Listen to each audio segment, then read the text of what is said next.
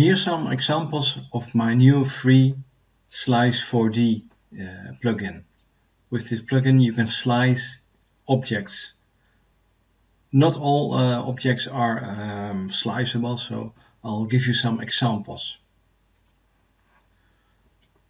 Pyramid is a very simple example. Let's first do it in a, a y-axis, slice, and there you go. I'll show it even better. Up and down. And you can also slice one of the new objects. For example, this one. Drag it to uh, the plugin. Select the x-axis, x, select the x-axis for example, and say slice. And there you see, even this one is now sliced. So that's all very simple. I'll show you another one. Here I have an object with a torus and a sphere, both in a connect object. And we can even now drag this connect object to our plugin and say, for example, slice in the y-axis, for example. And there you see both of them are sliced.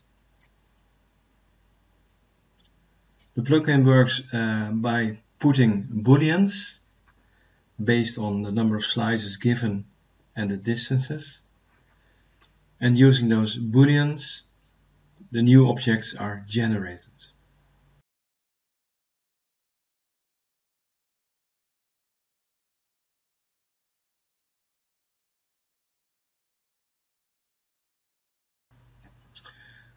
Okay, next one. I'll show you the disk as an example of uh, something that's not working because the disk has no uh, height. So also for a boolean object it's very difficult to um, slice this object. Let me show you. Drag the disk to our plugin and slice it.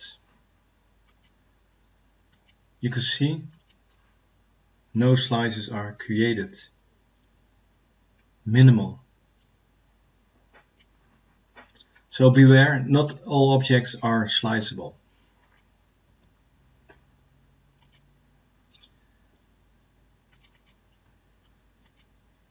This is also a nice one. Here I have an object and a deformer, both in a connect. And as you can see, uh, the deformer is working. And now I've put a disconnect into our plugin, slice it, and there you can see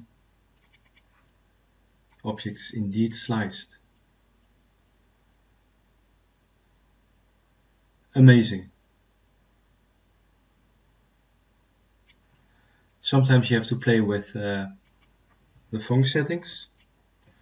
For example, here it's perhaps a bit too high and put it on 70. You might get uh, better results.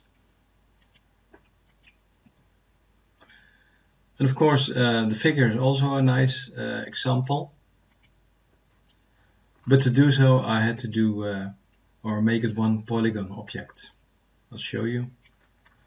What I do is current state to object, delete this one. Select children, connect and delete. And I put this one in the plugin and say slice. Let's do 25. And here you see the object is indeed sliced. Again, you have to play a bit with Phong settings here we have to enable it. There you see we have a better result.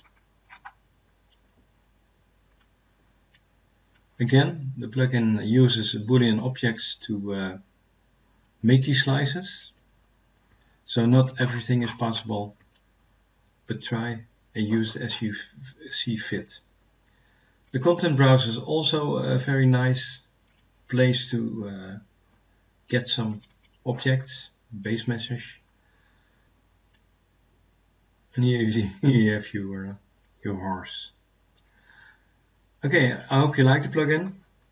If you like it, please um, do a donation. And of course, any remarks and comments are welcome. Thank you.